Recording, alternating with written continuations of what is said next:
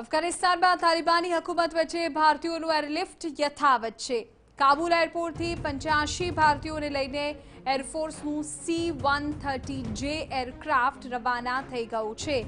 media reports પ્રમાણે વધુ 200 લોકોને ભારત પરત લાવવાની તૈયારી છે આ માટે એરફોર્સ ના ग्लोबमास्टर C17 વિમાન પણ સ્ટેન્ડ バイ રાખવામાં આવ્યું છે મહત્વનું છે કે 4 દિવસ પહેલા 120 भारतीयोंની વતન वापसी થઈ હતી